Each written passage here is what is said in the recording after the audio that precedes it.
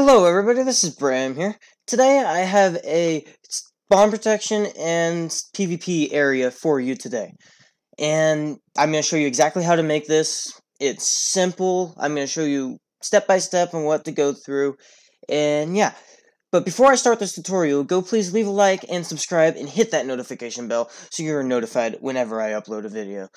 And yeah, let's get started on this tutorial. Alright guys, the way this works is in the top right, there's um, strength, resistance, fire resistance, resistance, and instant health 255.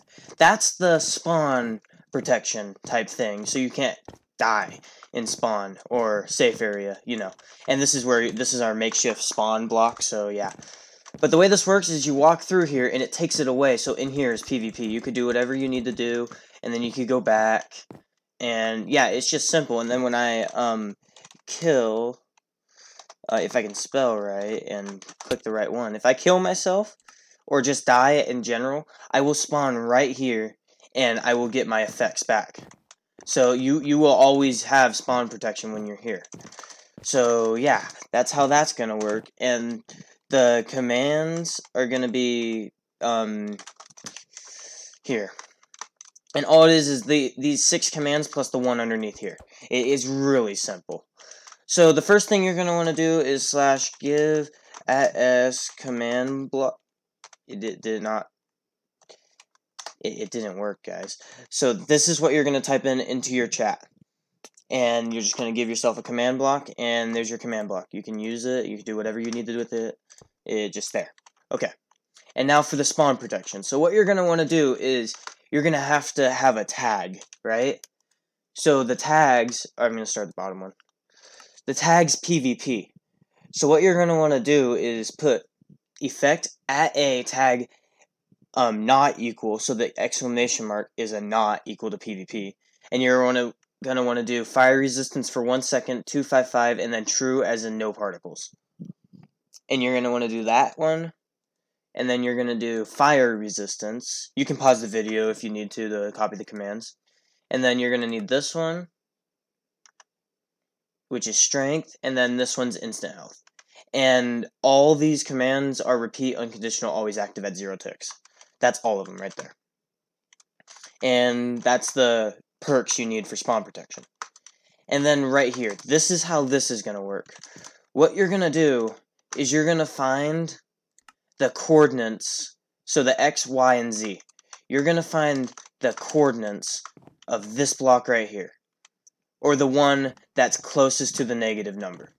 You know. Yeah, you're going to do that. So that way it's positive whenever you advance in either direction. You're going to find that corner. You're going to find this block. So the coordinates on the top left is where mine's at. And then you're going to want to count. So if it's going z this way, it should be whatever direction it's going, positive or negative. It should be positive if you chose the one closest to the negative. You count, not, you don't count this one. This one is not counted, so you're to go one, two, three, four. And in this case, this is my x. So x plus 4, so it's x4. And then in this one, I'm not to count that one, so this is to be y. So one, two, three, four. So that's 4 right there. And the reason we're counting that out is because this spot right here, the x, y, and z, is the starting block. And then distance of x is 4, so that's why I counted off the 4. And then distance of y is 4, so that's why I counted up.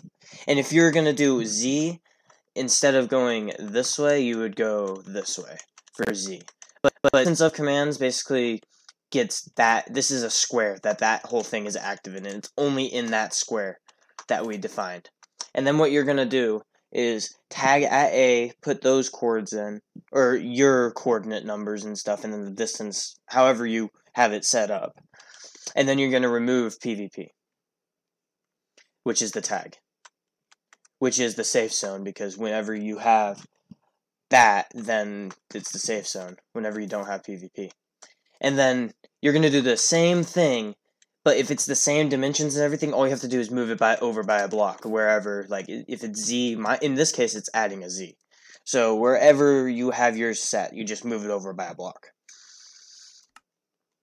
In this one it's tag add pvp so you're adding the pvp tag to it. So it's going to be tag at A equals negative 7, or no, this is the just my custom stuff, and then the same distance of Y. Yeah, don't, don't pay attention to what I said, negative 7, but you're going to find the chords of that block and then do the distances as well. And then you're going to add the PVP. So that's simple right there. And then for it to be whenever you die, what you're going to want to do is find your spawn point, um, set world spawn, and then you're just going to set it wherever you're at, which is right here for me. And then underneath, it doesn't have to be underneath a slab, it could be underneath a block, if ever, however you want it. And if you're going to put it under a block, I recommend doing a radius of 4 but or 3. It really depends on what you want to do.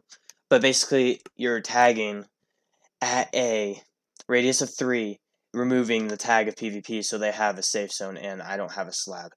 Um, okay. Just a second. Um, there. But what it's doing is whenever you spawn here, it's constantly removing the PvP tag. So yeah, and then here's the stats. Repeat, unconditional, always active, zero ticks. I think that's literally every single command block. And I am clicking buttons wrong.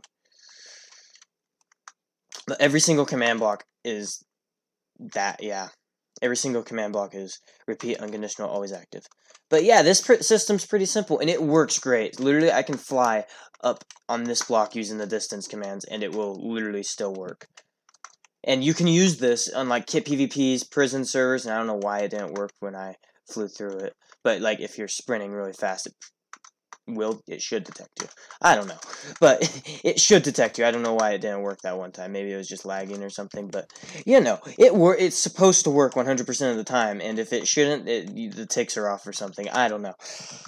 But guys, if you really enjoyed this video, Please leave a like. If you really loved it, please subscribe and hit that notification bell to get notified whenever I upload a video. And I hope you guys use this system, and I hope this was a big help for you. And just thank you guys for the support recently. I have been growing like I never thought I would grow this good and fast. But thank you guys for the support and I hope you guys enjoyed this video. Please leave a like and subscribe. And this has been BrayM and I'm out.